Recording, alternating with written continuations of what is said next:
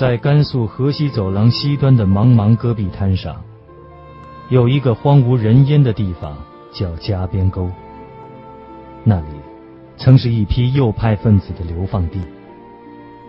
上世纪六十年代初，那里的三千多名被押右派，一个个病饿而死，最终仅数百人生还。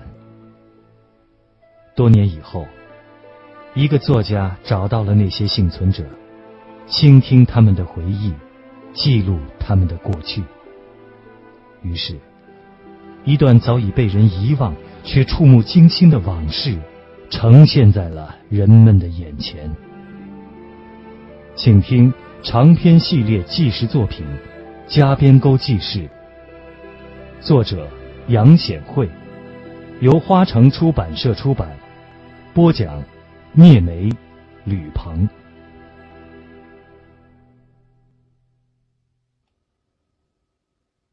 刘文山他们三个人端了脸盆回到山水沟。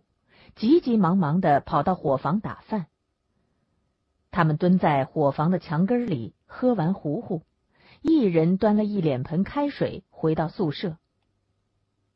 胡永顺和刘文山住大地窝子，做吃的不方便，两个人就都集中到张维让一个人住的小窑洞里。他们把兔子洗干净，把肚肠子拿到窑洞顶上的荒地里埋了。然后在窑洞里点起火来煮兔子肉，兔子肉放在一个洗脸盆里，再扣上一个洗脸盆当锅盖。为了不叫人看见他们煮肉，他们把洞口挂的毯子用土块压严实，可是烟大，呛得他们咳嗽流眼泪。肉快煮熟了，散发出诱人的香味儿。这香味儿把一个叫陆成民的地质学校的学生右派给引来了。他围着被当成锅的脸盆转，啧啧称羡：“哎呀，真香啊！哎呀，真香啊！你们煮肉了？”谁也不回答。他又问：“煮的啥肉嘛？怎么这么香啊？”还是谁也不说话。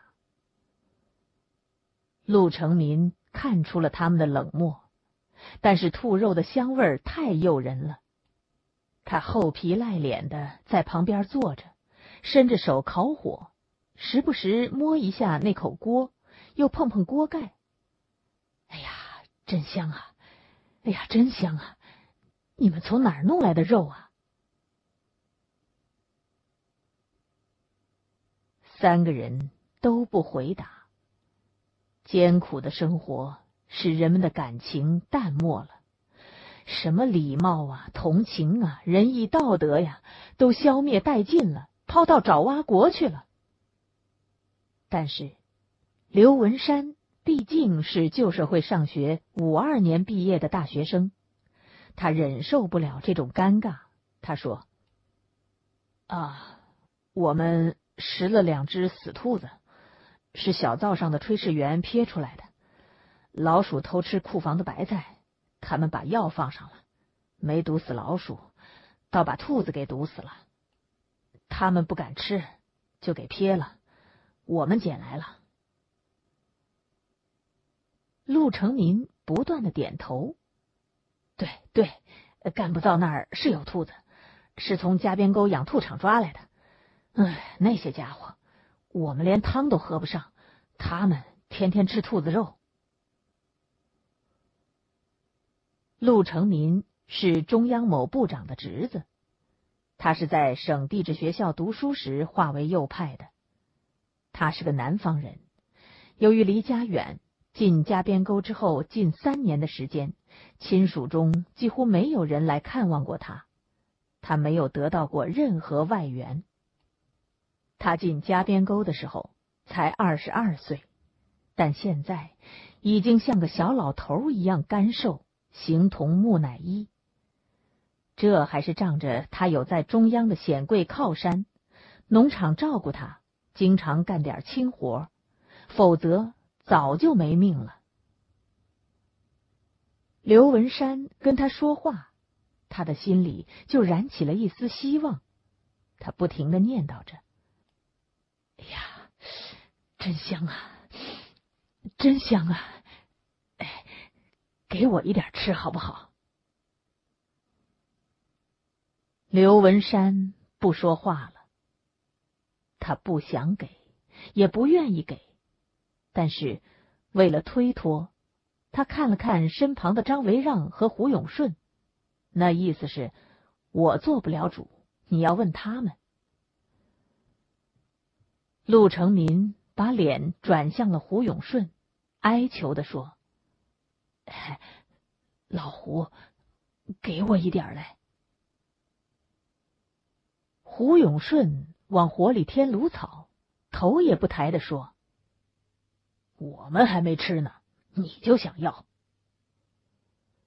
张维让干脆的说：“走吧，你快走吧，我们自己都不够吃，能给你吗？”陆成民讪讪的站起来，走了。过了一会儿，兔子肉熟了，三个人又撕又啃的吃了。吃完了肉，他们觉得。骨头也是有营养的，就又长时间的烧火煮，最后连骨头都嚼着吃了。吃了骨头，喝完了汤，刘文山和胡永顺身上热乎乎的，心满意足的回地窝子去了。张维让连地方都没挪一下，也没有脱衣服，拉开被子就睡了。窑洞里的残火很长时间才灭，加上一只兔子肉在胃里消化，转化为热量，血液再把它输送到身体的四面八方。这天夜里，张维让没觉得怎么冷。这天夜里下了一场雪，小雪，天亮以后就停了。但是天气却骤然冷了一下。来自外蒙古的寒流侵袭了巴丹吉林沙漠，侵袭了甘肃。巴丹吉林沙漠边缘到明水，刮着凛冽的寒风，大白天温度降到了零下十几度。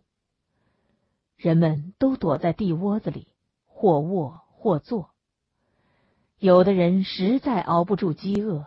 便冒着刺骨的寒风跑出去，拔上几把芦苇和蒿草回来，在地窝子里用土块支起饭盆，点火煮草籽儿。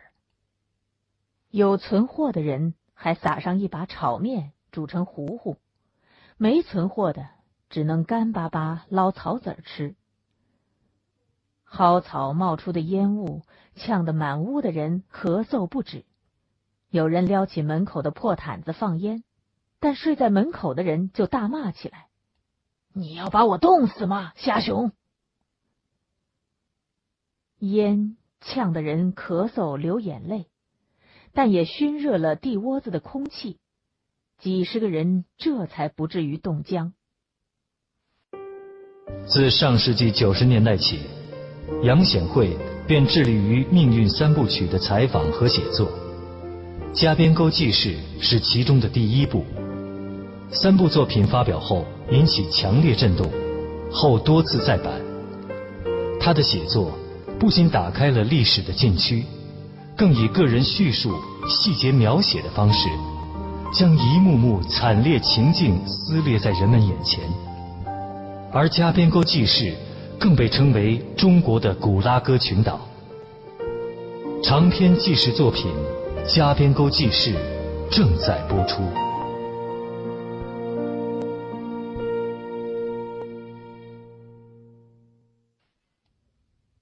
挨过了白昼，寂寥的长夜降临了。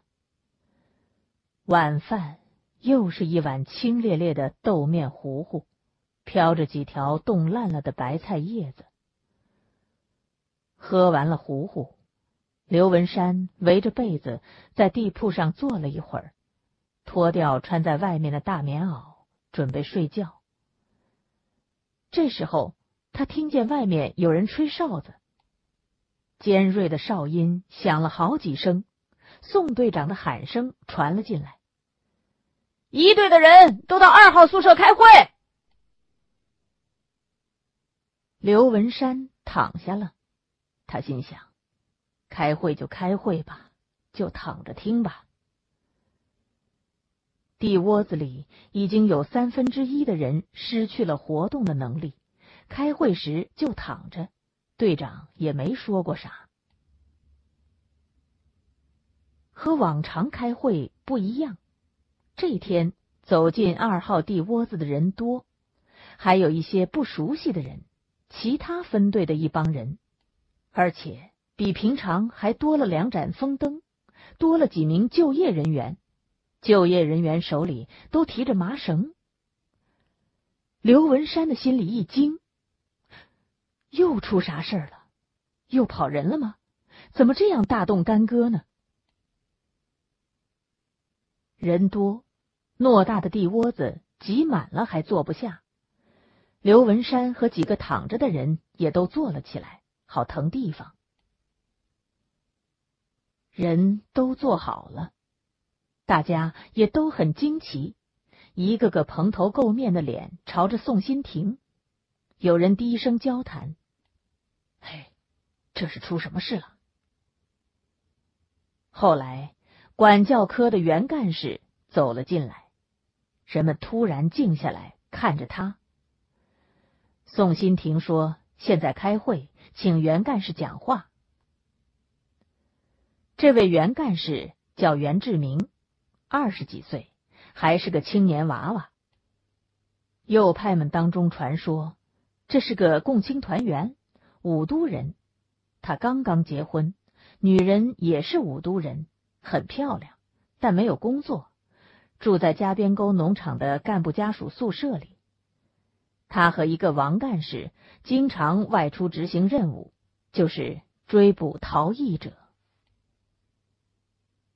袁干事没急着讲话，他把门口坐的几个右派分子轰到里边去，让让让让，这块留出块地方来。一帮右派急急的往里边挪动，引起了一阵骚动，但很快就静下来了。人们明白，腾出块地方是要捆人。不知道谁做下错事了，要倒霉了。袁干事开始讲话了，他的眼睛细小，但眼睛很亮，说话的口气很硬。在我们二战，有些灭绝人性的人，惨无人道的人。他停顿了一下，意在强调、警示，引起大家的注意，然后说：“吃人肉，他们从坟滩上挖着吃。”听东方点 com 整理发布最新章节，请登录中国最大的有声学习网站听东方点 com 查询收听。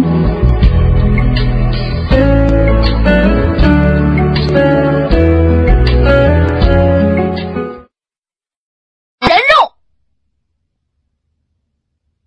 人们都惊了一下，下意识的呀了一声，然后又都寂静无声了。刘文山也非常吃惊，而且对袁干事的话将信将疑。加边沟的劳教分子，百分之五十是读过大学、受过高等教育的人，传统礼仪、道德观念还是有的，能干出这种丧尽天良、猪狗不如的事情来吗？这时候，袁干事喊了一声：“出来！吃下人肉的人站出来！”没人站出来，会场鸦雀无声。没人站出来，怎么胆怯了吗？人肉都吃下了，站出来的胆量都没有了吗？还是没人站出来。袁干事的脸很严峻。这时，他把脸部的肌肉放松了一下，说话的口气也变软了，似乎是很和气商量的腔调说：“哎，还真不站出来呀？怎么要我点名啊？点了名才站出来呀？那好，那我可就点名喽。”他突然把眼睛一瞪：“张维让，站出来！”张维让从他的小窑洞来到二号地窝子，原先是坐在门口的，后来被轰到里边，坐在刘文山的旁边。听见袁干事喊他，先是怔了一下，继而一脸狐疑加上恐惧的神色说：“袁袁袁干事，我我我可。”我可没吃吃，出来！袁干事，张维让还想辩解，但两个就业人员跨前两步，泥脚踩到地铺上，像提小鸡一样，将他拉到靠近门口的空地上。张维让从伙房下来不久，他的身体还比较健康，脸色也是红润的。但此刻他已经面如土色，身体筛糠一般的哆嗦。他的嗓子发出了哭腔：“没，没有啊，袁干事，我我没有吃人肉啊，没吃，你个驴日下的，不给你来点厉害的，你还嘴硬不承认？捆起来，给我捆起来！”又一个就业人员把一根小手指粗的绳子搭在他的肩膀上了，那两个握着他胳膊的人，一人抓住一头。很熟练的往他两只胳膊上缠了几道，又把双手在他的身后并在一起，手心对着手心。到底张维让的身体还是比较健康，他的嘴里喊着：“没有啊，我没有吃啊，冤枉啊！”他挣扎着不叫人绑，把两只手给挣开了。那两个就业人员没能把他的手捆在一起，似乎很是气愤。一个人抬腿踩了一脚他的小腿，正踩在小腿肚上面的腿弯处，他扑通一声跪下了。就业人员就是把他的双手又拉到一起，从手腕处系了个死结，接着两个绳子头从脖子上面早就完好的绳环里穿了过去。张维让还在喊冤枉啊，袁干事，我没吃人肉啊，但是。那两个就业人员，一人抓一个绳子头，一个人站在他的背后，一个人站在他的头前，两个人同时一用力，唰的一声响，他便像挨宰的猪一样尖叫起来，啊！他的身体缩成了一团，他再也叫不出声来了，像是断了气一样。两个就业人员又往里拉了一下。把他的双手拉到后脑勺的位置，他的胳膊不知道是哪个关节，咔啪啪响了几声，他又像是往常人们被火烫着时发出的短促的喊叫声一样叫了两声：“哎呦，哎呦，我的妈呀！”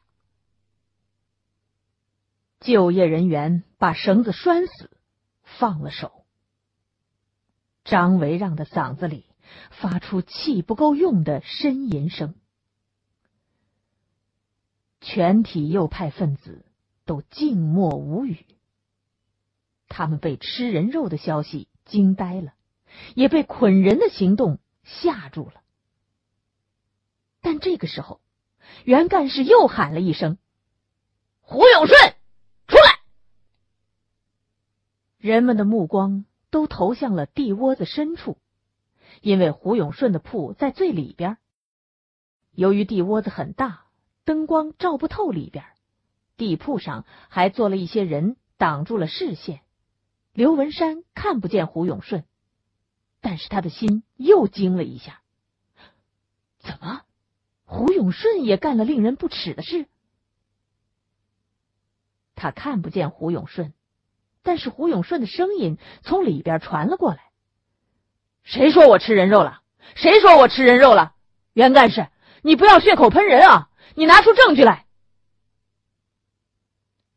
胡永顺的声音是强硬的。这个当过兵的人和年轻的张维让不一样，他不是辩解，而是质问。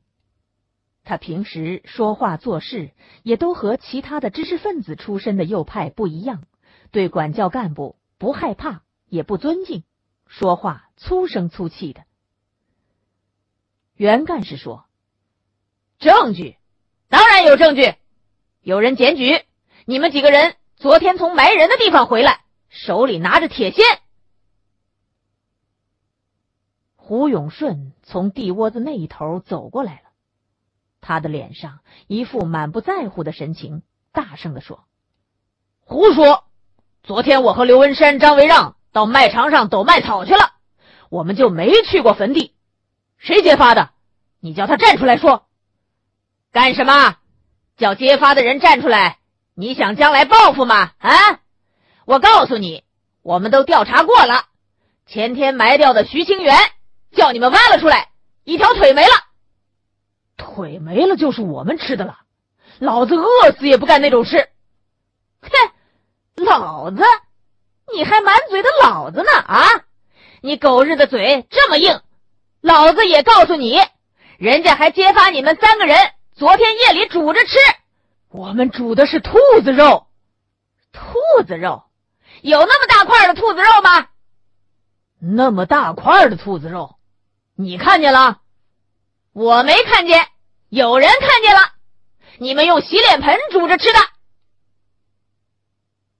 说到这儿，袁干事回过头喊：“拿来！”把盆子拿来，叫大家看看。这时候，一个人从门口拿进三个洗脸盆来，袁干事接过来，一只一只举在风灯前，朝着右派们说：“看，大家都看，这盆子外头的血印子还有呢，这不是证据吗？啊，胡永顺，你还有什么话说？那是兔子血，什么？”你还在抵赖啊？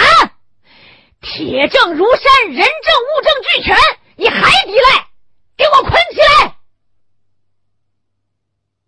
还是那三个就业人员一拥而上，扭的扭，踩的踩，把胡永顺踩翻在地。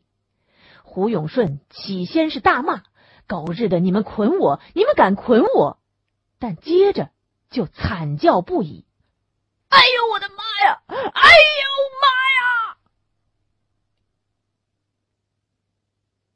亲眼看着这一段时间来与自己同舟共济、相濡以沫的好友被捆了起来，管教干部又不容被捆者分辨，刘文山吓慌了。